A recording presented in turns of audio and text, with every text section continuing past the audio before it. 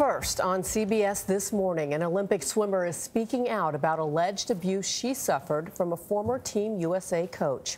Ariana Kukors told police former coach Sean Hutchison sexually abused her and took thousands of nude photos of her while she was a minor.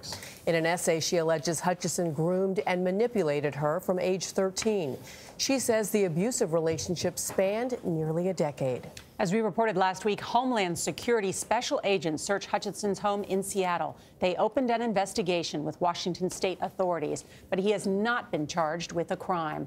The former Olympic coach recently stepped down as CEO of King Aquatics Club after Kukors went public. In a statement, Hutchison writes, quote, I absolutely deny having any sexual or romantic relationship with her before she was old enough to legally make those decisions for herself.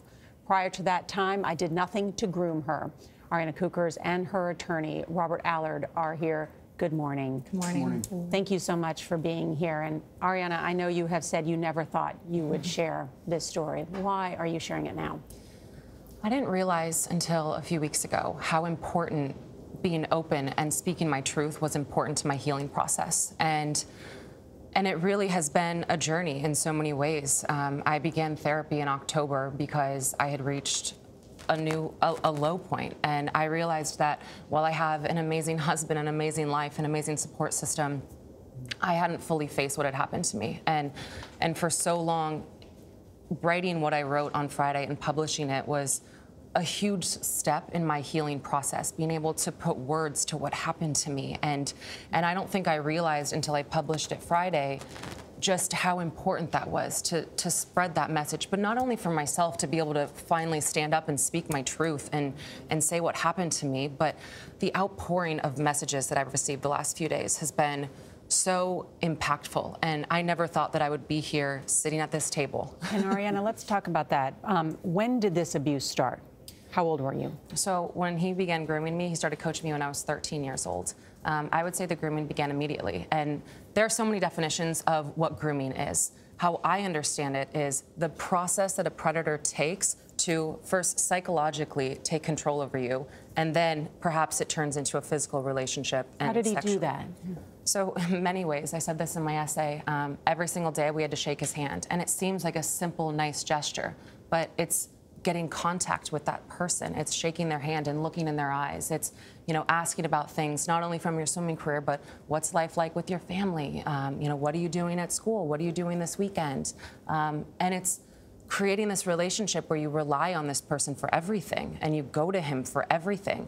And so as he guided me through this relationship of manipulation and control, he fully had control over me and prepared me for each step. And also, swimming is a one-on-one sport, mm-hmm. and the better you do, you're rising together. Talk about that relationship. This isn't a team thing. This yeah. is just the two of you. Yes, and you know, swimming is known to be an individual sport, and you spend so much time. And so, when there were private meetings going on behind a closed hotel room door, you know, someone might look at that and think, oh, well, you know, they're just discussing race tactics or strategy or how to get better. But that is inappropriate. And those kind of conversations should not be taking place behind closed doors. And how do you get to the point where he's taking thousands of, of nude photos of you?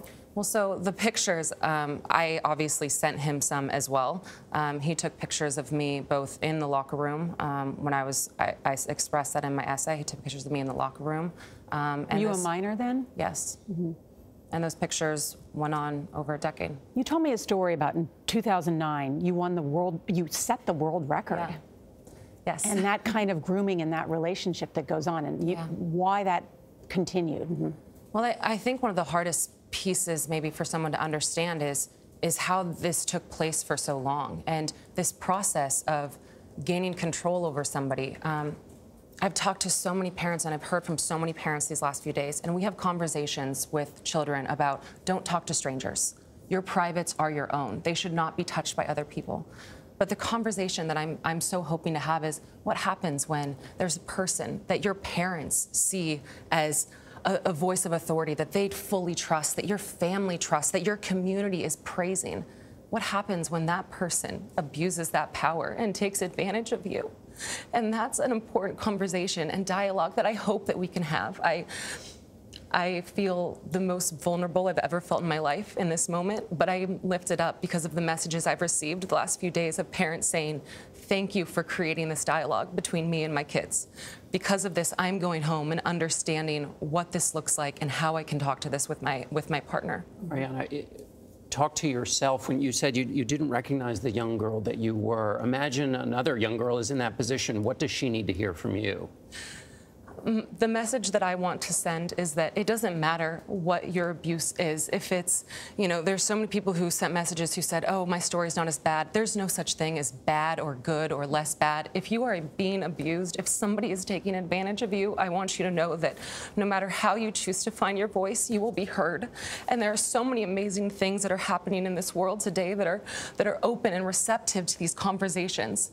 I want I want these people to know that they are amazing, that they don't have to rely on these these predators, these these people who take advantage of young people and abuse a relationship so horrifically. You found yourself in this position today because of your love for swimming. Mm -hmm. Do you still love the sport? Do you still swim? Yes, I, I love the sport in every way that you can imagine. I've received so many messages from teammates and coaches and friends and people who who grew up watching my career and and I said this in my story, that black line, that that space that you talk to and eventually that line starts talking back. Um, I love swimming and and I'm not here to necessarily share my story. What I'm here is to prevent this from happening to the next person who is trying to chase their dreams, who's trying to show up as their best self every single day.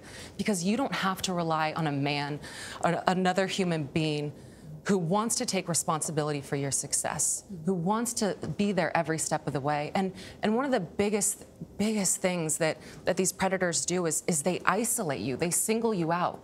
The things he told me constantly were you're the most impressive person I've ever met. I see things in you that your sisters don't see in you, that your parents don't see in you. And because of that isolation, they put you on a pedestal and they put you there so that nobody can help you. And I want I want people to know that you don't have to you don't have to hear those words to be amazing and to be great and show up as your best self every single day. Surround yourself. My my tribe of people, my husband, who I'm bringing through this with me. He has been my rock, and he has showed up for me every single day because he believes in this message. He believes it's, that it's important not only for the, the family that we hope to create, but for the next family, for every single person who, have, who has the opportunity to do this to somebody else. Well, Ariana, it will. It will make a difference because abuse fosters in silence, and you are breaking that silence. So thank you so much for being here and sharing your story. Rob, thank, thank you. you. for thank you being, being here with, alongside with, her. Thank you. I appreciate it.